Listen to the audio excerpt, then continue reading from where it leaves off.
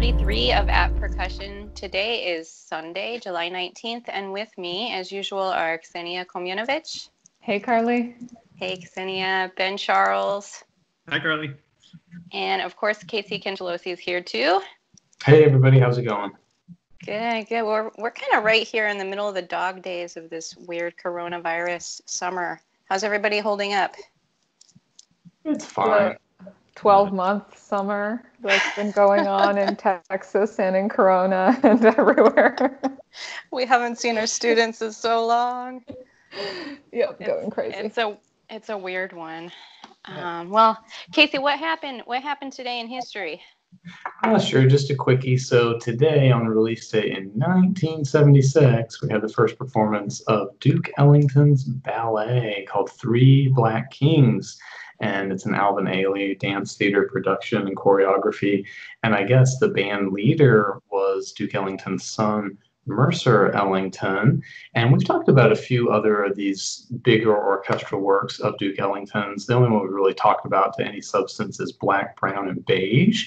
But we've also mentioned Harlem and Night Creature, because I think they came up along in that same discussion. But Three Black Kings sounds like it's actually my favorite one of what I've heard so far. Not that I've listened to all these works extensively, but uh, a lot of cool percussion writing, a lot of like doubling marimba and piano, and uh, a lot of yeah, a lot of uh, more adventurous percussion writing than I, I, I might have expected from from what I, I thought I knew of Duke Ellington. But uh, the three Black Kings that he's talking about and the movements are represented by each one. But he, like his other pieces, he dives back into trying to tie the past into the present and saying something about how the perspective of race and culture has changed from before and to now. And anyway, the three black kings are uh, Balthazar, right, the black king of the Magi, King Solomon, and then Dr. King, Martin Luther King. So, uh, yeah, that was 1976. And oh, one other fun little fact I said that Mercer Ellington, his son, put it together. Apparently, Duke Ellington had uh, kind of a superstition. We were talking about performance superstitions, like little rituals, a few episodes ago. And I guess he had one about composition, which was he never wanted to write the last notes of a piece until the final, the, the first performance, like until like the, you know, the day of the premiere. He didn't do that with all of his works, but he did it with some of these bigger ones. So that was one of his little superstitions. And uh, unfortunately, he passed away at its, uh, before its premiere. Uh, so his son got to like kind of piece together the final the final notes of it and, and still like kind of hold that tradition. So yeah, that was 1976 and happened on release date. So now you're smarter. Oh, thanks. I needed that today. that's, that's really cool. I, I want to go listen to that. I, I can't believe I haven't heard of it, but it sounds really cool. I'm really curious. Yeah, Yeah, well, that- I don't think these pieces get played a lot. I mean, I don't Yeah, think they get played uh, a a whole a whole lot. I mean, they probably get played a lot, uh, relatively speaking, but um, yeah, probably not as much as they should. You know. It, it's cool when you hear about these obscure works. There's another one that, that I want to hear is Scott Joplin wrote an opera, and I think it was like kind of poorly reviewed in its day. I don't. I, I think it's been maybe performed since then, but yeah, like Huh. Scott Joplin wrote an opera. Who knew? It'd be cool to hear. Is that the one? Is that the one with the Rippin xylophone excerpt that we have to learn all the time? Or is that something else? No, that's a, that's a Gershwin you're thinking of. Oh right, yeah, yeah. Porgy and Bess. Oh right, and now you're smarter. yeah. See, no, I'm- that's why I do this. Thanks, One Ben. step closer to a DMA, Cangelosi. Right. Ah, Porgy. All right, got it. Well, here's what I'm wondering: Is anybody going to start a new performance tradition of don't learn the last couple of notes until the day of? Yeah, maybe. Yeah, maybe that'll. that sounds scary like a about the composition. You could just you could just cross some T's and dot some I's in composition. That's harder to do in performance. Okay, I, this makes me want to ask a question, and I'm going to pick Ksenija at random. Ksenija, what is the what's the fastest you've ever learned and performed a major piece of music? Oh God, I'm really bad at this. I well, I am no longer I ashamed. Yeah, because I knew of everyone she would hate that question the most. Actually, Yes. Because she I already am- said she's having a bad day, and so you asked her. Yes, please make my day worse. Um, I am just like Steve Schick. I take my time. Um, no, actually, I don't have any of those. Like, oh, Svet gave me, or whoever my your professor be, gave me, you know, Merlin to learn in two weeks. I lied. I learned Omar's first movement um, in um, learned. Uh, let's take that with a grain of salt in 72 hours because I had notice. That's how much notice I had. That- it was Is Wow. That Gershwin?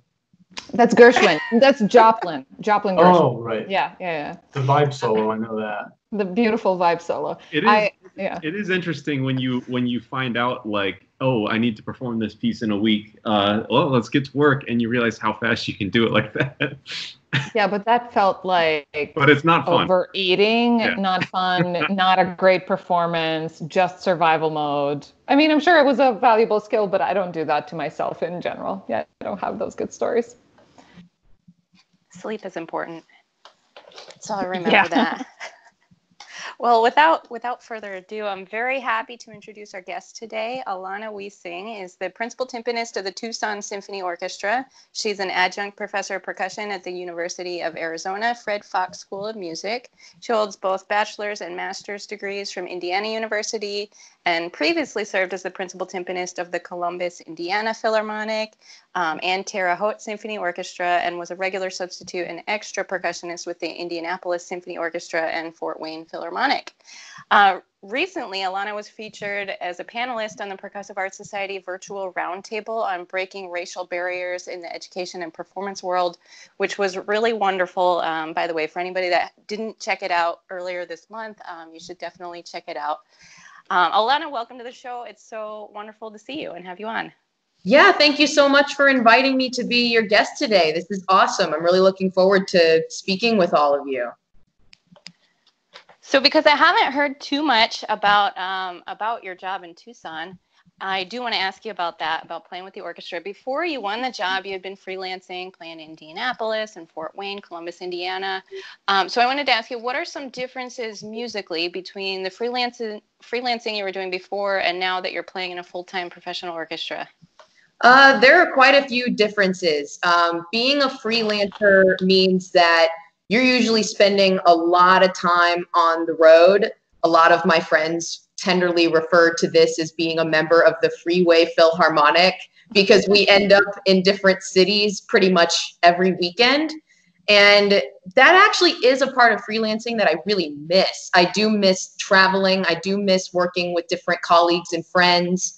Um, but it does put a decent amount of wear and tear on my car, gas money, additional expenses. Sometimes you have to put yourself up if you don't have friends or connections in the cities you're playing in, food, all sorts of other expenses that you incur by being a freelancer. Uh, but I do miss having that different work environment and working with different people all the time. Um, but now that I have my job with the TSO, I know my entire season schedule in advance. Uh, the orchestra sounds fantastic. I'm really enjoying it. I'm originally from Phoenix, which is just about an hour and 45 minutes, two hours north of here. Uh, so the atmosphere here is very familiar. Um, and I really do enjoy and have come to learn to enjoy that element of consistency and predictability in my schedule. Uh, being a freelancer means that you're playing different instruments, different setups, different pieces every week, which is the same in a consistent job as well. Um, but you also in freelancing might not know about a gig until the day of. Um, it ranges any time from I would be contacted maybe two or three months out to play with a group to receiving phone calls on the morning of a concert and someone in the orchestra has an emergency or gets sick, whatnot. And I've been called to go up to play an indie saying, Hey, can you play this coffee series concert? We need you to play cymbals on Der Rosenkavalier. And I just drove up, got ready. Thankfully, I had played the piece in that specific part before and came in and it went really well. Um, but I think it's really important as a freelancer to be prepared for a very diverse set of circumstances and be prepared to play a wide range of instruments and be in be prepared for a lot of different situations being in the TSO, being the principal timpanist, I know I'm going to come in and just play timpani all the time. I don't have any other um, obligations or worries in terms of instrumentation unless I am working with uh, the TSO percussion quartet. And that's a really nice sort of break from just playing timpani all the time. But those gigs are few and far between, sort of scattered intermittently throughout the season. But I'd say the biggest difference is not having to travel as much, um, having my job now in the TSO, knowing my schedule ahead of time, and just focusing on being a timpanist for the most part. Um, that's awesome. I think Ben should have directed that uh, evil question to you then, since you got calls, you know, in the mornings for the night up. But what is the scariest fast learning musical situation that you had to go through? Oh gosh. Um, I would say another similar experience that I had with the Indianapolis Symphony. It was another call that I had gotten that morning to sight read. Thankfully, it was just a rehearsal, it wasn't for a concert. Um, but the entire program featured pieces that I had never performed or heard before. And so I'm literally on my drive up from Bloomington to Indianapolis, which is about an hour long drive, and just listening to these pieces over and over and over again uh, to make sure that I could be as prepared as possible. And obviously, I couldn't get on instruments beforehand. And so, essentially, my experience with learning those parts was having some time on stage about a half hour to 40 minutes before rehearsal started to iron out any notes that I needed to learn and ask any additional questions about the timing or how these parts fit in better in context with how the section wanted to have them played. So that was that was definitely pretty terrifying and had me on edge. But again, thankful that it went really well and the guys were were super supportive and helpful. That's awesome. Yeah, I was gonna I was gonna add to that. I mean, like I you know through that question on Ksenija, learning like a solo piece in a short amount of time. You know, like there's always the discrepancies between performance practice and score. But I mean, if you had the score for Reflections on the Nature of Water, you could pretty much hack out a performance of it somewhat accurately. I like the the pressure of having to listen to uh, recordings like on the fly seems just so so difficult to me. Cangelosi like, disagrees. No, ah. I'm mirroring Cangelosi. Yeah, I'm not saying it's I'm not saying it's a good idea. I'm just saying that you know, like you're not gonna make a fool out of yourself in rehearsal with other people. Is all I'm saying. Oh, if you think you you the boat, you're you're alone on the boat. It's fine. it's no problem. I'm talking and everyone's laughing. No, no, no. I'm not saying that's a good idea. I'm not saying you know do that. I'm just saying I would rather be in the situation of having to learn a solo piece than like, hey, Rosenkavaliers tonight, no rehearsal, can you show up? That's all I'm saying. You know, you know how that would go for me then? Like the second movement, it would go da da da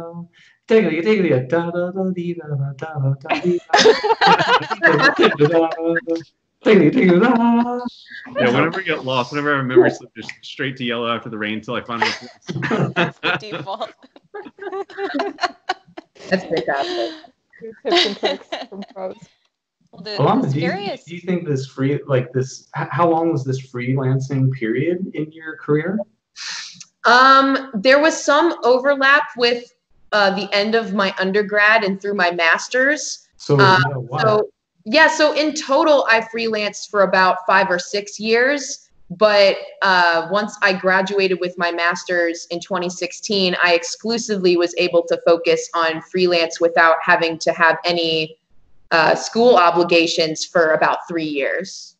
It's funny how we we often, I mean, we bump into a lot of people. I know I do this too. Like we talk about that grind that you did before your real job, mm-hmm. you know, and, it, and even percussion ensembles, they have to go percussion quartets or or you know, so percussion, third percussion. There's like a period where they have to stay persistent, you know, and like like kind of stay the course and like keep going and keep eating rice and beans you know don't you know like how long can you can you sustain that? And i find we're often talking about that period of our uh, of our life. What did i say? I said third percussion? Third coast percussion. That's a thing. it's like, I was, it's like a med school residency.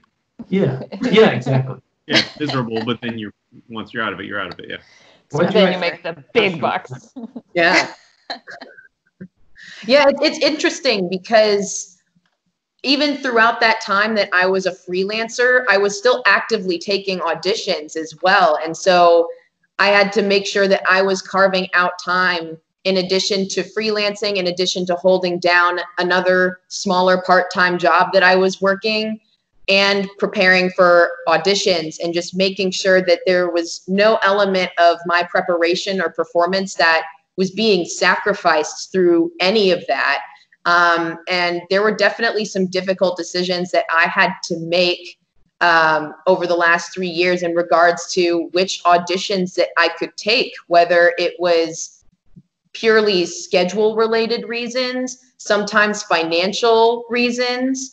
Um, and so it was definitely a, a balancing act. And uh, I definitely commend any musician out there who's in that grind and, and hustling in that way because I feel like uh, those musicians don't get enough recognition or enough consideration. And it's just as legitimate and fulfilling a career to have that line of work um, than it is to have a you know full-time position somewhere. So i definitely look back on that period of time with with great fondness and i did learn a lot about being a better more considerate compassionate uh, musician and how to better work with colleagues and adapting to different situations. Um, and those experiences really did help to shape my musicianship and help prepare me uh, for my job with the Tucson Symphony because I felt that my transition was actually very smooth into this job because of that. Oh, very cool. Is it fair to say that, and I know we've talked about this on the show because it's sort of ringing a bell, but people who freelance and it's it's this crazy grind and it's all over the place and it's borrowing gear and it's making contracts for cartage and like nothing's consistent nothing's ever the same the goal is to eventually have some kind of consistency and say like oh yeah i can always count on these christmas gigs come the holiday season and I, i'm i'm always the second call for boston baroque and i'm always um, on the sub list for this. And like eventually it does turn into this somewhat reasonably or very reasonable like steady kind of career where yep i've got all my gigs and the, these are the groups of folks that call me and i just think it's important to add that for for anyone listening who thinks like oh god i'm not gonna i'm not gonna dive into that. That sounds impossible you know? No i absolutely. I think for me there was a part of me that could count on that consistency to a certain degree and there was another part of me that always kept the thought in the back of my mind like there might be a time where I shouldn't be so complacent and just be counting on that phone to ring or for those emails to come in and always be working extra hard to make sure that when full-time auditions did come up that I could be as completely prepared as possible.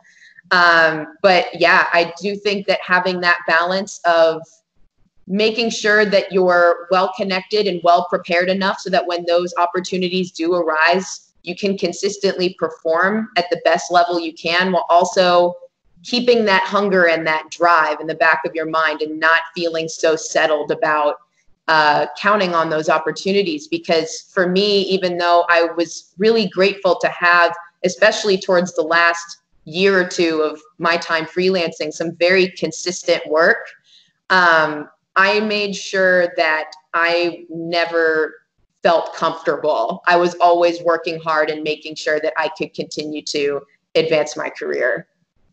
Cool. Freelancing can feel like, I think, a combination, especially if you're applying for jobs or you're taking auditions, a combination of the, the short game, which is like be prepared week to week, everything, manage everything you have on your plate, and then also long game what am I doing to improve my situation?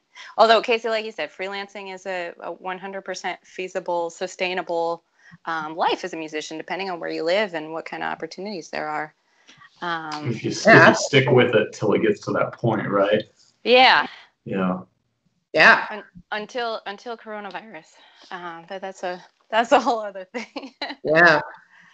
Alana, I wanted to ask, was there anything on the job in Tucson that you felt your schooling and your audition preparation and your freelance orchestral experience didn't prepare you for? Were there any surprises, good or bad or anything in between?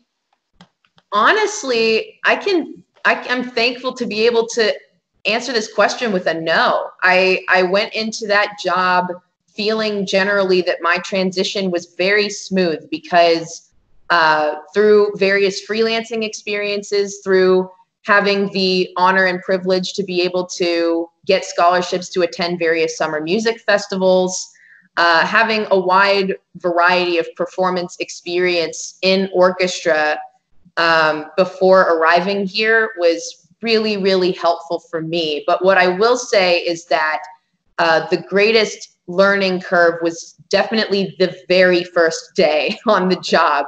Um, it was Beethoven 7 on the program, which is one of my all time favorite pieces to perform. And I went in, I was super prepared. I had played the piece before, but had brought in, you know, my weeks of preparation, score study, mallet selection, all the rest of it. And went into that first rehearsal having a very clear vision of this is how I think the piece should be played. And it just turned out that our music director wanted a different sound concept for the piece and wanted me to just generally use more articulate sticks.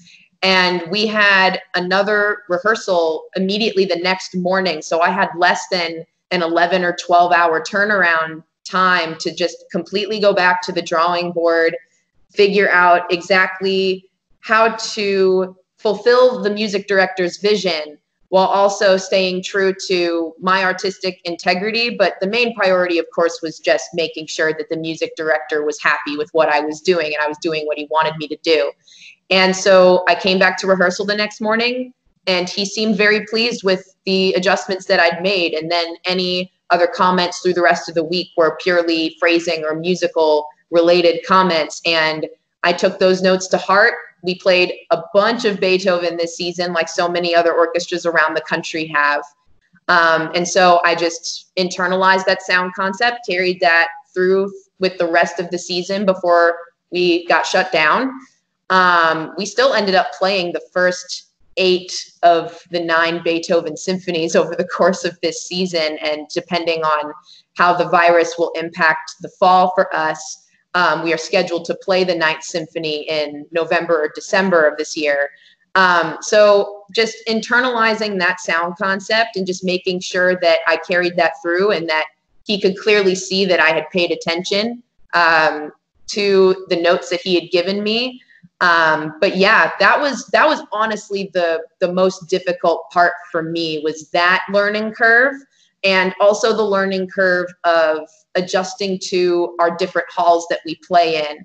Um, because those three halls sort of exist on every part of the sound spectrum. One of our halls is sort of right in the middle between being really dry and really live um, and being just completely dead.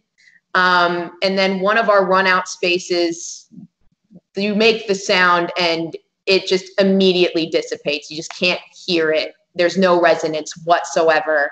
Um, and then our third performance space is one of the most live spaces that I've ever played in. And so being able to adjust to all of those different spaces and um, those configurations was also a huge learning curve. But thankfully, from a, a musical perspective, I, I'm really thankful to say that my transition to my job has been very smooth so far. I've heard of that old timpani saying you have two sets of mallets, harder, hard and harder. you know, that's I don't know who I don't know who said that, but it's the I heard that story. Like, you know, the maestro asks you for something different, you were using these, you go, Oh yeah, sure, yeah, absolutely, I, I can do that for you. and then then you play and they're like, Yeah, it was great. Yeah, brilliant. Yeah, that that's a that's a classic maneuver. Um and another thing too is I've I've found in my experience here too that if you choose a mallet that is just slightly harder than what you would think you would need to use um, and if it makes you just a little uncomfortable the way it sounds on top of the instrument it's likely going to sound great by the time the sound sort of is able to congeal out in the hall um, so i i'm still a little bit trying to live with that uncomfortable feeling. Um, and also in terms of the timing um, being so far back and just having that complete will and conviction on all of your entrances and how you stylistically can shape the orchestra and shape its timing. Um, that's something that I've continued to make a priority and continue to work on and listen back to recordings and stuff as well. Um, so that's something that's you know unique for for me in any situation that I'm in. But yeah, I found that if it makes you just a teeny bit uncomfortable with the articulation, it's it's usually right. Yeah. Um, you mentioned the value of participating in uh, music festivals for your career, and I looked at your bio, and you were busy from 2007 to 2019 between what was it, uh, Eastern Music Festival, right? And yep. then to, to Aspen all the way. Except that I noticed there was one year, if I'm not mistaken, that you did not go. Um, was it a personal decision? What happened? What did you do with that one summer of your adult life that you didn't go and play music? Yeah, so that was the summer of 2014, which was the year between my undergrad and my master's.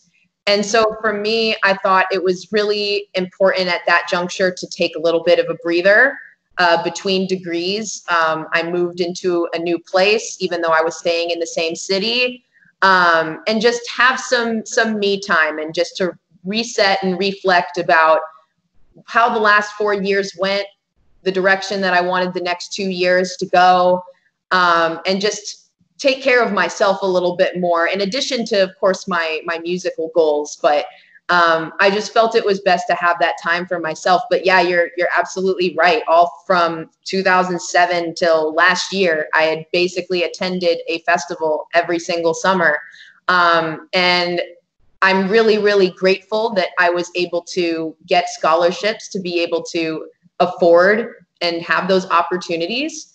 Um, and I think it's incredibly invaluable the experience that you get attending these festivals on so many different levels. Um, you get the experience working with a lot of different teachers, um, which getting those different perspectives at various points in my training was really neat.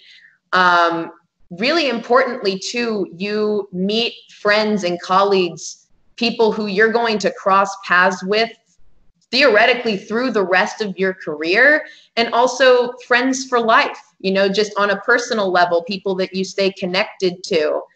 And for me especially that first summer that i went to eastern music festival that was my first experience sort of getting a taste of what a day in the life of a professional musician really looked like you know having those daily rehearsals attending master classes attending professional concerts and the concerts of your friends and colleagues.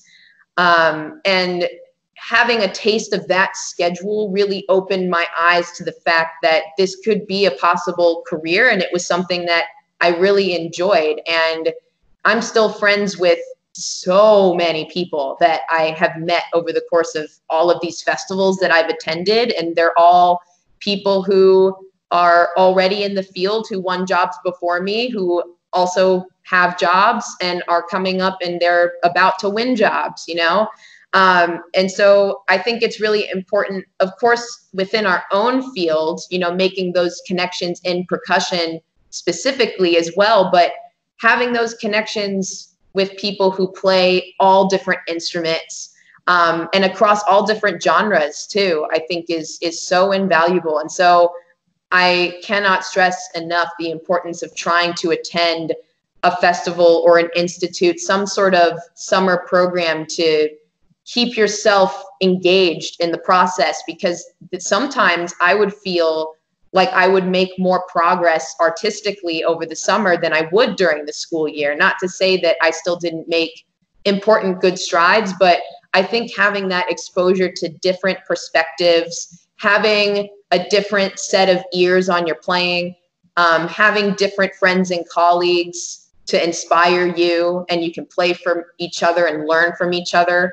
Um, I think was was so critical to my development as a musician, and I can't recommend them highly enough.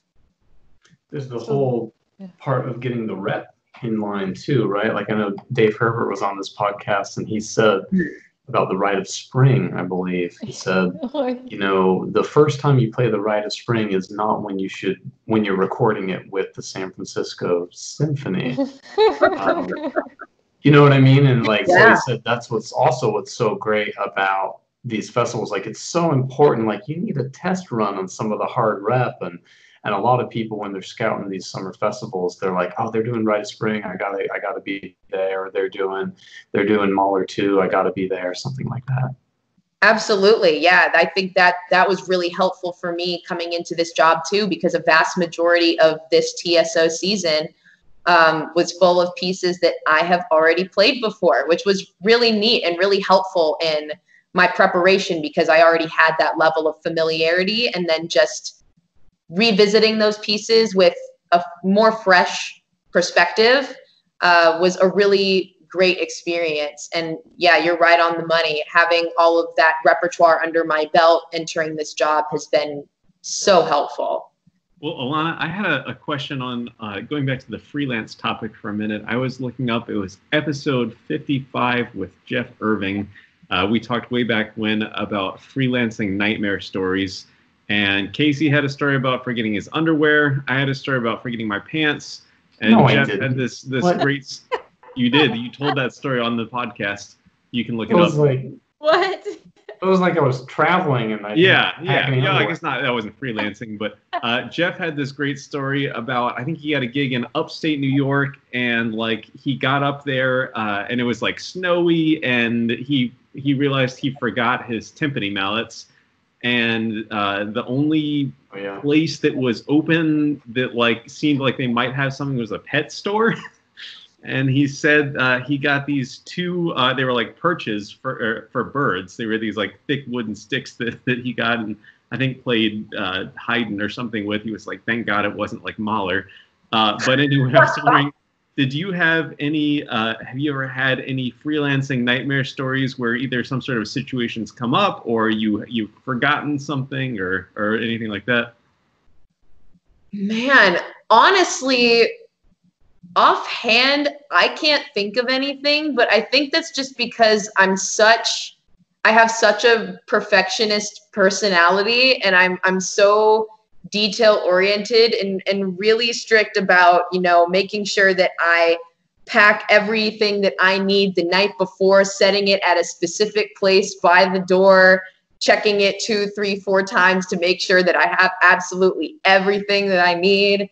Um, and so offhand, I can't I can't remember any sort of horror stories or forgetting gear or anything like that, which is super helpful um, I'm really glad that I, I didn't find myself in those positions. Although I have certainly found myself uh, having some car troubles to and from gigs. That's been terrifying.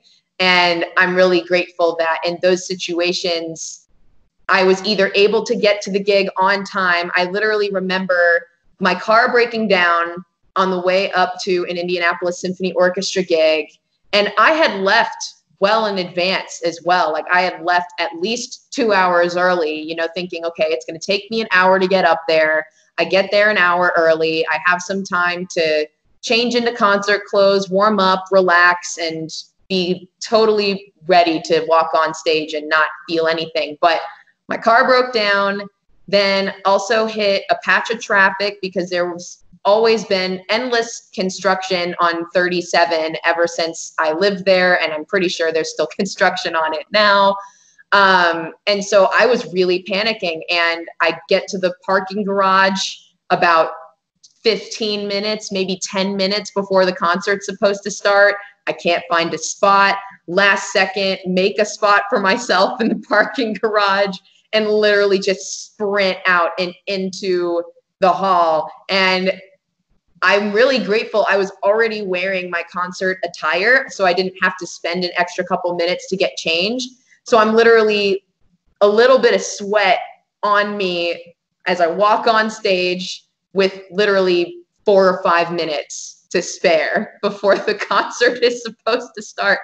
Um, and it's really crazy because I had felt that I had done anything in my power to ensure that I would have plenty of time. And so I'm really grateful that I left early. And um, I'm glad. I mean, the concert and everything went really well, but that's that's the closest that I have felt to literal panic and terror in one of those situations ever.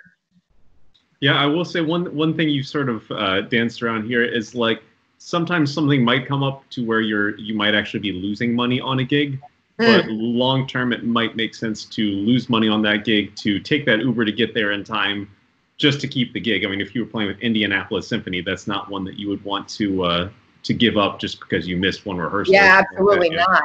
Yeah. Um, but yeah, just since in our little text chat, Karli and I had a little thing going here, I, I thought I'd share with everyone that there was one time where Karli and I had a gig in Miami, and I was bringing a gong down from Boca Raton, and I packed the gong stand and promptly left. And as we were unpacking, I realized I didn't have the gong, and we were both freaking out. And I felt so bad because Karli was the only one that had to play it, and Karli had brought me timpani to play. Uh, so that was not very cool of me. Luckily, the rehearsal was such a giant train wreck that we didn't actually even get to the part where Karli needed to play the gong in the rehearsal, and Svet was kind of loan us one from Miami. Uh, and uh, yeah, it, it, it, all worked out okay. Wow. yeah. But Karli, I, I, apologize yet again. You're still making up for that. oh, man. Well, the moral of the story is checklists, right? I'm always making like two different lists, all the mallet sticks, beaters, whatever that I need, all the instruments, hardware, everything, um, and leave plenty of time because you never know. You never yeah. Know. I tried to do that with every single gig that I ever played. Yep. Well, Alana, you've been you've been speaking so powerfully and so eloquently on the topic of race and discrimination in the percussion world in recent months with everything that's going on in, in our country and around the world. Um, you were a featured panelist, like I mentioned, on the PAS roundtable discussion. Um, you were a guest on Jeremy Epp's Friday Timpani Hang back in June too, and talked quite a bit about that. And you posted a really powerful video on your own Facebook wall earlier in the summer that is just anybody that hasn't listened to, to these things should definitely check them out. Alana's been doing a lot of a lot of good work and, and saying a lot of important things that need to be said. Um, I wonder, Alana, do you feel a kind of responsibility as a black female principal timpanist to tell your story and to maintain a certain degree of visibility in the orchestral world?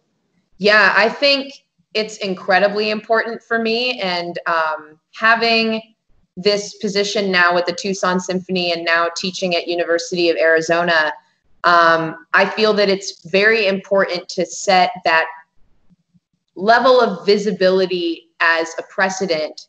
Um, and also important to just give voice to these really important issues. Obviously, they impact me on a personal level. Um, but even if they didn't impact me on a personal level, I feel like I would still be speaking out about these issues because these are things that um, have been impacting percussion specifically as well as the world at large for quite a while. Um, and I'm very thankful and honored and humbled to have a platform that allows me the confidence to speak up about these issues and use my experiences as a vessel to sort of give voice to these issues. Um, so yeah, the the video that you alluded to, um, that video was made not too long after the George Floyd incident, and that was sort of a tipping point for racial tensions and divisiveness in this country. Um, and I think it was really a combination of a lot of different factors. The incident itself um, is highly disturbing, and uh, that video leaves really no room whatsoever for any uh, other interpretation other than deliberate uh, hate based violence. Um, so, seeing that incident, um, in addition to others leading up to that point, in growing numbers. Um, certainly, those incidences have been happening for a very long time. Um, but I think they were given more of a platform given the fact that we are in this pandemic atmosphere right now. More people are paying attention to the news. Um, and so I think it was just this perfect storm of people are cooped up, they're paying attention, they see this footage that is so powerful and terrible and it incites that level of anger and rage and frustration that is so completely valid. And so then we start to see these protests in the street. Um, and that's a result of obviously these incidences and then people i think just feeling stir crazy in general wanting to get out and also make a difference with these causes which is fantastic. Um, but what's devastating also about these protests is that um, the pandemic is disproportionately affecting african american people and so it's completely understandable for us to be out in the street and giving voice and uh, supporting these causes. But from this pandemic perspective, it's also life threatening. And so it's a real catch 22 situation um, and difficult to really see all of this happening. And so my video was created as a response to that event, more specifically, as well as understanding the responsibility that I feel that I have and my unique position of being the only female African American principal timpanist in the country, that there is that level of visibility uh, that I have. Um, and I am the only member uh, of the community at, at the professional level who has that intersection of those affected minority groups especially as they pertain to percussion more specifically. Um, so it was very important for me to respond. And I wanted to make sure that I did so in a way that was very calm, collected, articulate, yet still just as impassioned. Um, but I definitely also wanted to make sure that I was not responding from a place of that anger, frustration, and rage. Certainly, I do still feel those things very viscerally, but I didn't want that raw emotion to cloud the effectiveness of the message that I've been trying to spread and the awareness that I'm trying to promote of greater diversity, of greater inclusion, of the Black Lives Matter movement. Um, and so I wanted to make sure that it was done in a way that could accomplish all of those things as effectively as possible. Um, and again, I'm incredibly grateful that, you know, I'm specifically receiving this attention and having these appearances to be able to speak with all of you and others about these issues. I'm incredibly honored and humbled. Um, but for me, the most important thing is really giving voice to these issues and using my experience and my platform as a vessel to help advance them for the greater good. Well, one thing, one thing that I, I think we all agree on is that we don't want to have all these conversations and say this is important. This is, you know, we want to fight for better representation and equality and equal opportunity and everything and then you know we kind of just move on and nothing nothing changes nothing happens mm-hmm. um, alana i wonder what do you think is our responsibility both as musicians and as educators to improve the representation in our field in percussion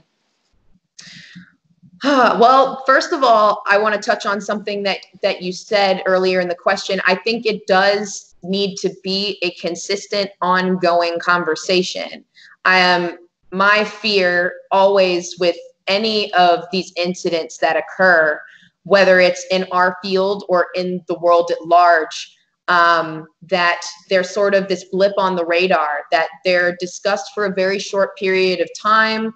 Um, they get that widespread attention and discussion, and then they are swept back under the rug and never fully addressed um, and never continuously engaged. And so I think it's a huge priority for us at this juncture and moving forward to continuously be having these conversations and making those efforts. Now, as to how to best make those efforts, um, I am a huge proponent of early education.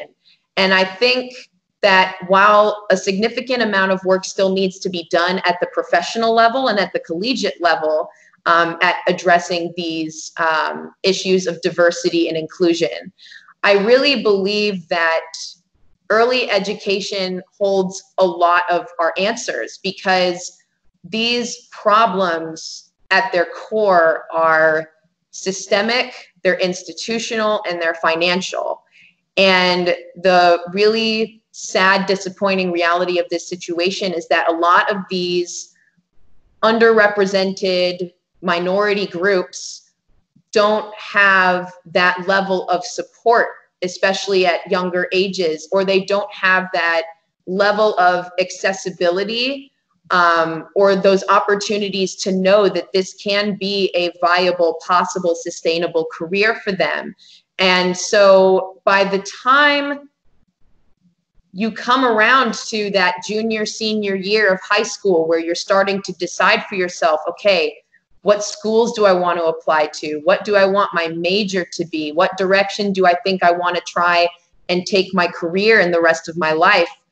Those options, unfortunately, for a career in classical music, unfortunately, aren't really on the table for a lot of these groups simply because I think for the most part they lack that awareness or um, the accessibility to those opportunities.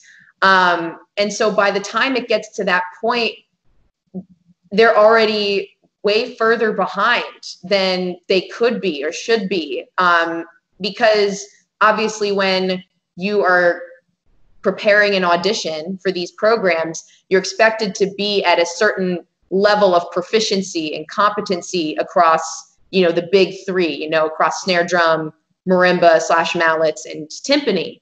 Um, and so if they don't have regular access to private lessons, if they don't have even access to a solid enough public school education and music program, um, or other programs in their communities which they can be fostering and developing these skills, then it's going to become increasingly more difficult as time goes on and as they find themselves in the collegiate level and at a place where they're starting to take auditions for bigger jobs. Um, and so, yes, I do think that there needs to be that level of acknowledgement at the professional level um, and auditioning for sure um, as well as the collegiate level to have those that's those systems in of support in place. Um, but so far during my time here in Tucson, I've really tried my best to start to plant roots of that level of community engagement and interacting with and teaching kids at much younger ages. And even if it's not percussion specifically, um, at least getting them interested in the music making and creation process, giving them that greater accessibility to come listen to the Tucson Symphony, to for me, well, for me to give back in a way. Sometimes it might mean me donating my time. Sometimes that might mean that I don't charge as much or if anything at all for private lessons for these underserved groups because for me, I view it as paying it forward, giving them opportunities that they wouldn't have had or wouldn't have known about otherwise. And so I really do think that early education and targeting children of younger ages can really help address this problem. And it doesn't just improve accessibility and opportunity for those underserved groups, which is obviously of the greatest benefit in this situation, but I think it helps everyone. And the theory behind it is that it trickles up into the high school level, into the collegiate level, and theoretically into the professional level as time goes on. And so I really do believe in the power of early education and think that needs to be more of a priority, especially in tackling these issues of diversity and inclusion moving forward. Yeah, for sure. That's where that's where the seed is planted for anything to to grow and to happen from there. Um, thanks so much for for well for your answers here and for everything that you're doing to to use your voice and your platform um, to share this with your experiences with us. Uh, well, Ksenija, I think you have a topic for us today. Yeah, um, it's sort of, uh, I mean, it's definitely related to, to what you were talking about because um, we need to shift power structures. Obviously, they get too hungry and then they get a little bit too big for us. So we got to crush them and change them. Um, so, what I wanted to talk about today is um, based on this article that came out in the Irish Times called If the Artist Offends, Should We Pluck Their Work?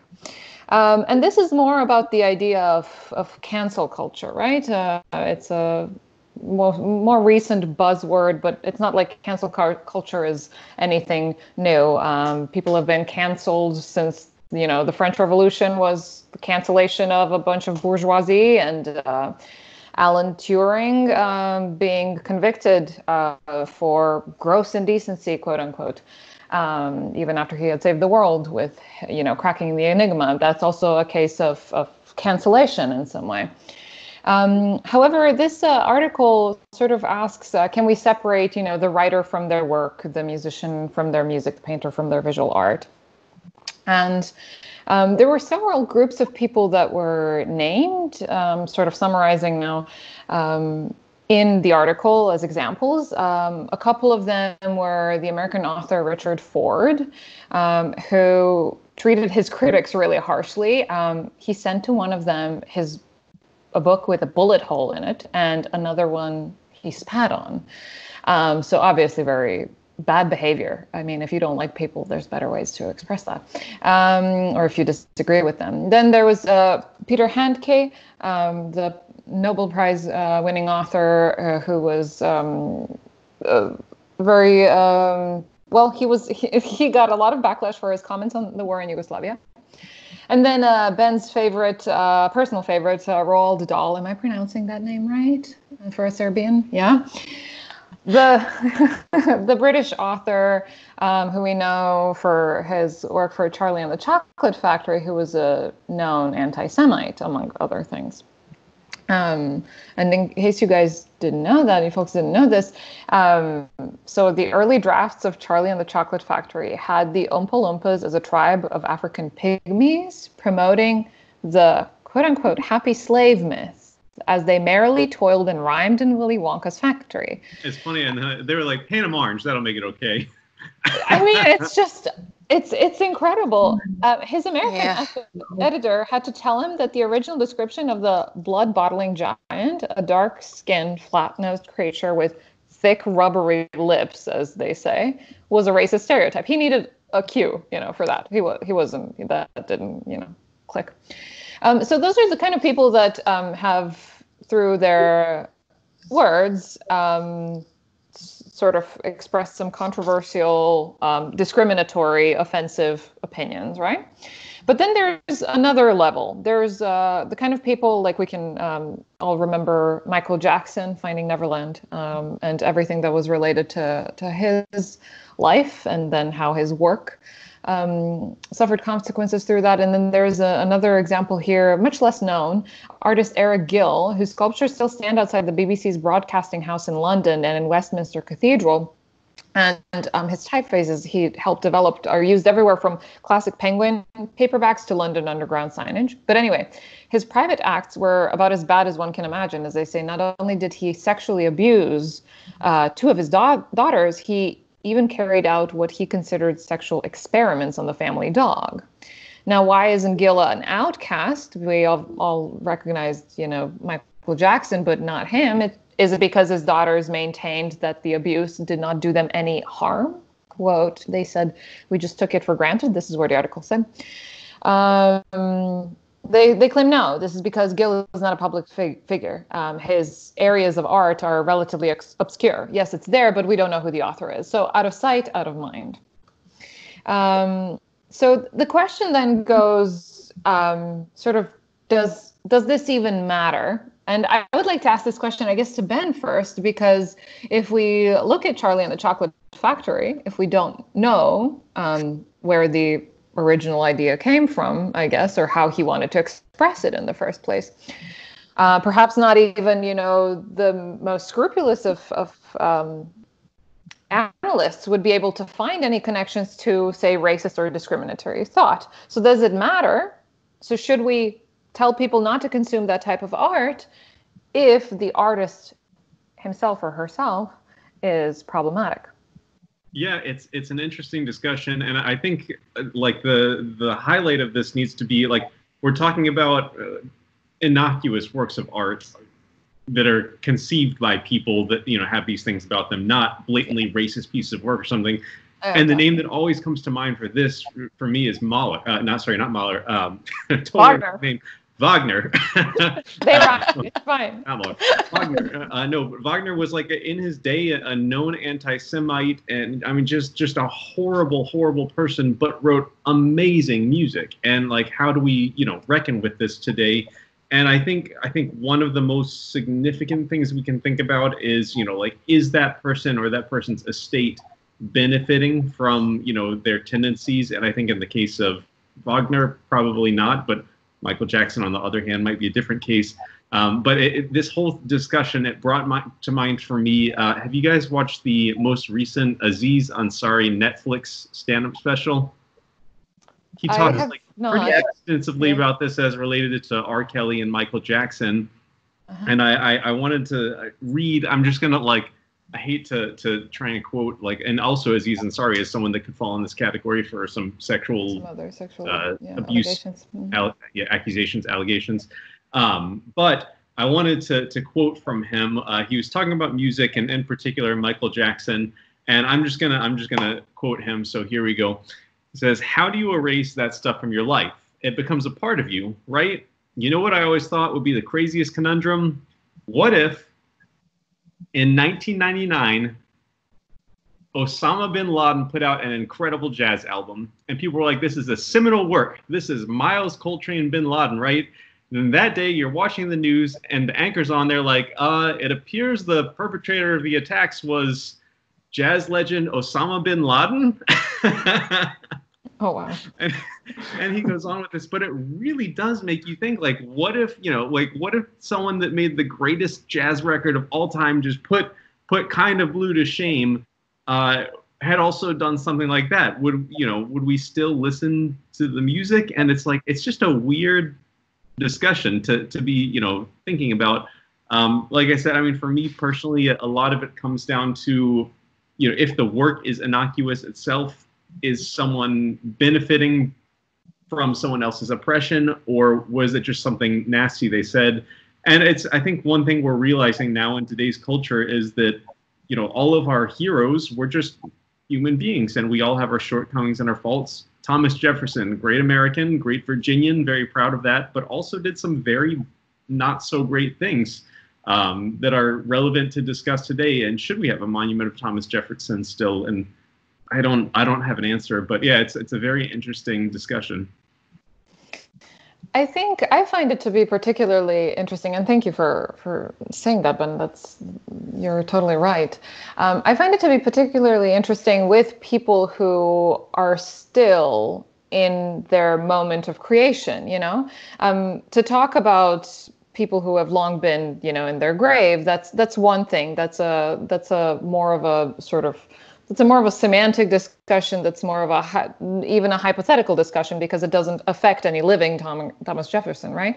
But, but in the case of j.k rowling and what she said and the cancel culture um, obviously understanding that they cannot arrest anyone for having offensive thoughts or, or saying them out loud but that they can definitely publicly join and uh, call to limit this person's um, public platform, you know, yeah, and, and to call to limit their access to, to work. Sorry, go ahead. Sorry, sorry to interrupt. I was just going to add, like, since you kind of touched on it, like, freedom of speech does not mean you can say whatever you want without consequence, right? Like, that just says the government can't, per, you know, prosecute you for it. But you know, if I come around and say some really nasty thing about Casey and people want to, you know, not buy my record anymore because of it, jokes on you. I don't have a mm-hmm.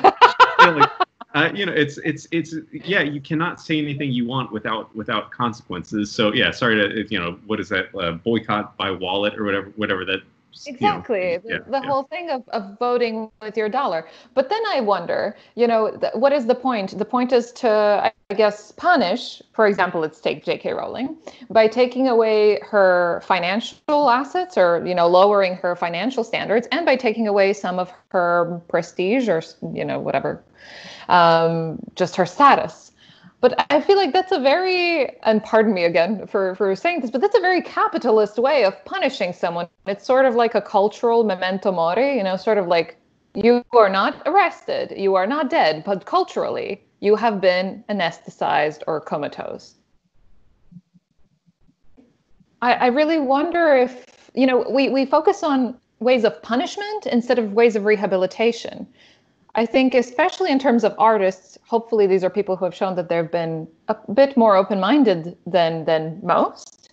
Um, perhaps those are the exact people that, when we notice a, a symptom of discriminatory thought or offensive thought, we should embrace them and sort of bring them into the machine of, hey, let's let's have you have conversations with these exact people that you have something against to see what you can learn, to see how you can become better and more empathetic. Um, I feel like the punishment culture, especially when it just punishes your wallet, I mean, that's, I feel like that, that it almost, it's like it prizes the human being solely based on the wallet. You, you are awarded through money, you are punished through money, and that's it. We don't care about your actual soul, your well being, or whether this is going to heal. We're just going to punish you, sort of like the incarceration, cultural incarceration. System. And also, like to go along with that, it, it doesn't allow someone an opportunity for growth. Exactly. Yeah. Yeah. Yeah. Um, but please, other opinions. I'm really curious. I feel like it's, you know, we were talking about this just yesterday, actually, in the Beta Percussion Institute. The student said this is such an issue right now, and we want to talk about this. And and one of the questions was, what can we do about this? And I said, work on your platform. Like, if you have something to say, something you can really do to be helpful is to like be successful in your career, and then you can uh, do things so you have a voice, very much like Alana alluded to with uh, her timpani position. You know, I actually polled the the students. I said, "Who's heard of my podcast?" And like, you know, eighty percent hands went up, maybe seventy-five. Someone's like, "Okay, exactly." Like, if you can say it to more people, then you in fact have like a louder voice. Um, so, like right now, when you all are students, that that's the most important thing because you need to take care of yourself anyway. Like, it doesn't do any. You can't really be an advocate for other causes if you're not taking care of yourself. Like you need to be on your feet in order to like have the facilities to go go out and do this. But so i, I thought that was uh, you know i'd like to say that again to, to all our young listeners because i think we primarily have have younger listeners. But but also yeah just the, the basic question like should we should we boycott this stuff that um, you know we find offensive? Or or someone like yeah the easy example is wagner. I find it very easy to separate like wagner it's um it's it's very simple to me but but then again i went to music school so when you learned about beethoven you didn't also just learn oh he's amazing and he's perfect and glory to the white male because he's a white male. It's like wait no he was like so miserable. If you think beethoven is an amazing human you need, you need to read more about beethoven. You know so like the people who are saying like oh we absolutely have to you know like totally change our music curricula and everything and it's like i think it's great do some William Grant Still. Do some, you can definitely have substitutes, and there's there's plenty of people out there to use instead of what, what else is out there. But like if you think learning about Beethoven is like glorifying him as a person, well, you haven't read enough about Beethoven, you know.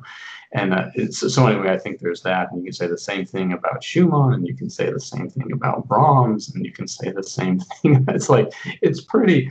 I, I mean, I think that is in fact why it's interesting. Like, who is it? Who who is perfect? Like, give me someone who's perfect. It's like, no, there are no perfect, no perfect anybody. But anyway, I, I think it's easy to separate Wagner, especially because I, I really don't think anyone in history ever. I might be wrong about this like went into a Wagner opera and like that just like amazing moment in Tristan and Isolde, or when the you know when the Montsalvat bells go off in in um in Parsifal, they just went like, oh, that's so beautiful. Oh man, maybe the Jews were really bad because that's so gorgeous. Like, no, it's separate. Like, what? Nobody, nobody ever thought that. You know, like, wow, he's amazing. Maybe he's right about the Jews. Like, what? No, like, who ever thought that? nobody. Like, come on. Yeah, so I don't know. That's like very easy today. I think to just go like, dude, those aren't. They're not related. They're just literally not really related. It, however, it's- however, counterexample, James Levine returns to the podium. Uh, Gosh, That's what I'm yeah. talking several, about, like like he just got like several hirings and little posts have occurred. Like I have no understanding for that. I'm happy to boycott that because like we don't need him. It's like, dude, wait, there's so many good conductors. Just don't. What we don't need him. Why? You know, like well, we, we can't have another ring cycle. It's like that's the ring cycle. Period. It's done. Plus, it's like in the past. Bringing James Levine back around students is like in fact dangerous. It's like, wait, he's a known we know he is a, a, a, sex offender in these very specific ways. That's been a known fact for so long. It's like everyone knows that. So A, we don't need him. Just hire another conductor. He, who cares that it's him? And B, don't put him in front of, in a position of power in front of people again. So that one's a no-brainer. It's very easy to boycott. So I don't know. I feel like you have to. It, it's a very personal question. Like so and so has made some comments. Should you buy their music? Should you endorse their mallets or should you use their mallets? Whatever. Yeah, you got to just like go with how you feel about that. Like for some people, be more icky than others. And also, like, not everyone knows all the facts in a lot of these cases. Like some people's extent to what they know about James Levine is very minuscule, and they're maybe skeptical about it. They're like, "Well, are you really sure?" So like they might feel good about it, but if you really know, then I'm probably not gonna not gonna uh, buy that ticket. So that's Yeah, I'll go ahead and chime in here too. I think Yeah.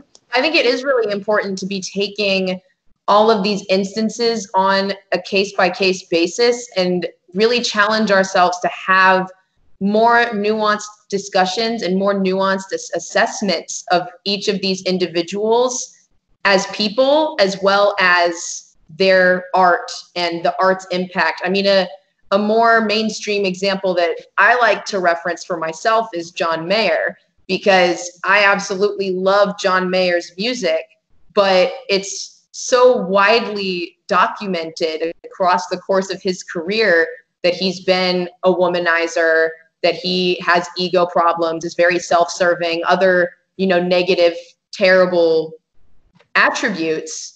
Um, and so for me, I, I definitely agree with Casey. I think it is possible to separate the art from the artist in certain circumstances and in other circumstances their art is a direct reflection of who they are at the core as people and i think it's really important to sort of take on a case by case basis how much of that relationship is at play in any given situation. And i think it's important to also ask ourselves the question well if we're going to quote cancel these people and if these people have said and done these terrible things does that then invalidate my memories and my engagement with their art you know does that take anything away from how i received their creation or their art because for me i think putting myself back into the audience's position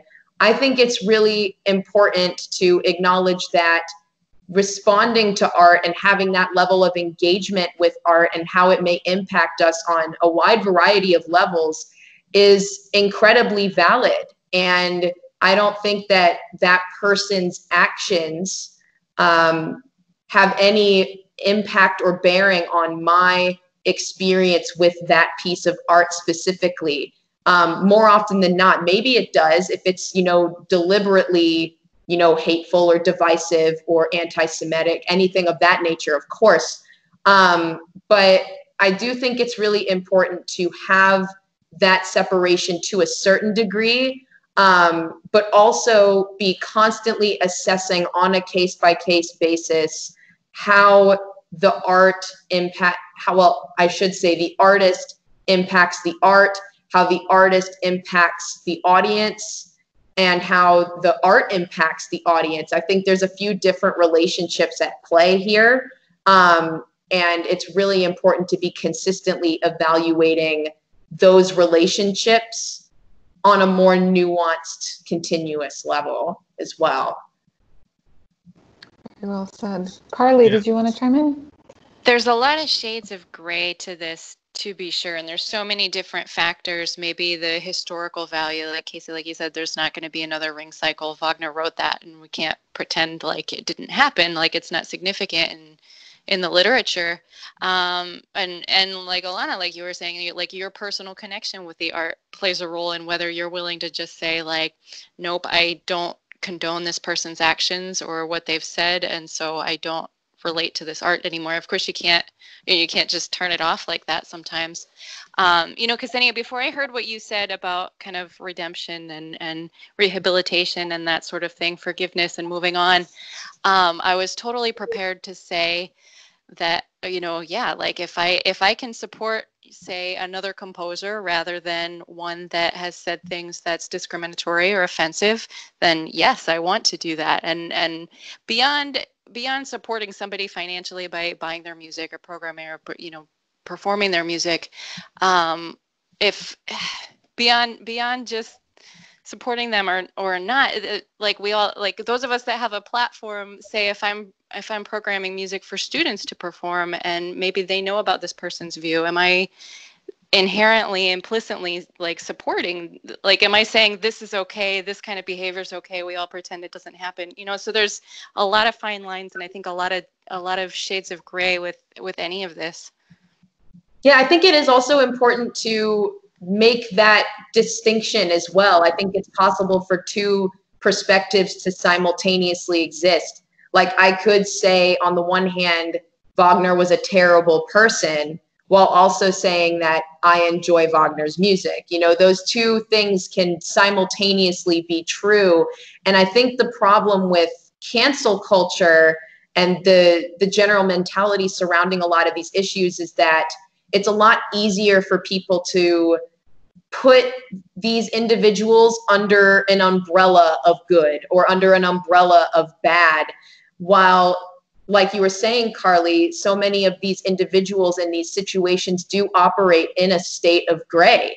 And so to lump these people into just these larger classifications of good or bad, um, inclusive or divisive, or any sort of extremes spectrum like that, I feel is is negatively contributing to how we can have this dialogue. I think it is important to continually examine that nuance. You know, it's perfectly possible for someone who's generally considered to be good to make mistakes or or say something that they regret or to treat someone poorly or and, and conversely it's possible for some someone who is generally regarded as being a bad or hateful person to have an act of kindness or to be considerate. And so it's it's really important that we acknowledge those states of gray and continue to have more nuanced conversations in how we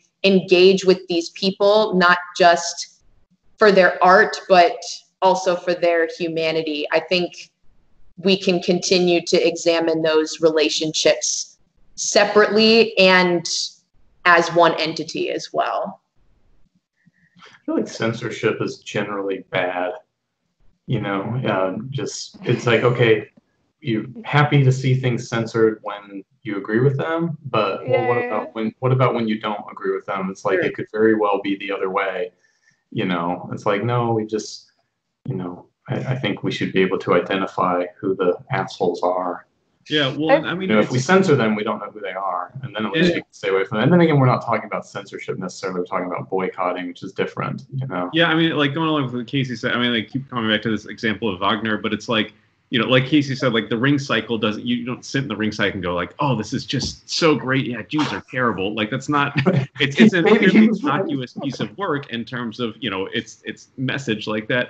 Uh, and it's it's also really difficult in our context because it's it's a historical influential work, and it influenced other composers. So to not and the only way you know music can exist is if it's performed. I think that's one thing that's so difficult about a performing art. Um, you know, we can it's we can't have that anymore if we don't perform it. You know, or you know, I'm just thinking of like not that uh, Michelangelo did anything, but like the statue of David. Like, what if we found something out terrible about him? Like, would we take the statue of David down? Like, no, like I don't think we can. my, uh, my, my uh, speaking of just censorship, my colleague, theory professor, my buddy Tim Mainland from Concord University, which was my first job in this teeny, teeny, tiny hilltop town called Athens, West Virginia, which is still so dear to my heart. And anyway, I was there for six years, and he's he's been there for a good thirty plus years. I think he just recently retired, but uh, he he said that the KKK was going to have a march through the town, and this is like a teeny town. Like they probably could have marched this the square and the street they were going to do in 15 minutes you know i mean it's just very very small. There's one traffic light. And uh, anyway he said um, you know the they let they let them do it. They let them do their march. The police were there to like look around and a few people pulled up chairs and they walked through and it was over. Like that was it. Like nothing happened. They they went away and it was gone. And i just i just wonder if like if people tried to like cancel it if people tried to like just just just like whatever. It's stupid. Let them okay let them let them do it. You know just like oh you guys want to do a little stupid march? Okay. And and it was just so ineffective you know but as soon as there's like the, a huge opposition I, I feel like oh you making it a bigger deal than it is. I, I think that's, uh, I find those examples, especially of groups that literally gather around hate hatred, um, to be a little bit more difficult to to handle simply on a on a level of values like personal values but i totally understand that you know could we you know if we were able to see all different scenarios okay we cannot take a magic wand and disband them they have to exist is the path of you know, just letting them go through the town. Is that the path during which nobody gets hurt? Yeah, let's do that then. Absolutely. Like figure out they, their psychology and just let them then exist without harming anyone if that's even possible. I feel like that's an oxymoron with KKK, but you know um, I, I, just think, yeah, I, I, really appreciate everyone's input, but uh, it appears that we've come down to a conclusion that post mortem, it's easy to separate the art from the artist, but while they're living and making money from their art, it's really hard to um, sort of decide whether we want to engage with them or not. But I think it's really important to not ostracize them, even if they have many controversial attitudes, um, but to sort of try to help rehabilitate them. Um, because that way they will also just not be infected and furious and, and aggressive if they're accepted, if they're not simply, you know, just um, set aside, marginalized in their own way.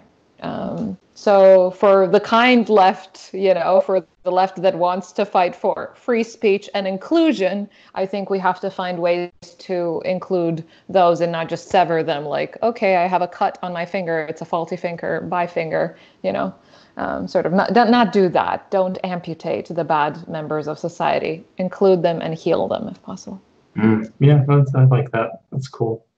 That's it. Thanks for coming to my TED talk we all need a little bit more unity, especially I think in the U.S. Like you, right now. I feel like when you censor you censor groups, so much of their position is like, "Hey, people are trying to censor us," and you know, yeah. the government's trying to censor us. So when they try to do their little thing, and then there's like protests and huge big to do, it's like, see, see, they're trying to they're trying to silence us. Like, no, we let you do your stupid little thing, and you walked through, and two people saw you and it was totally meaningless. Like you have no supporter. Like like they, they had no supporters in this town. You know, it was just them. That was it. Yeah. But I think Did they never come back.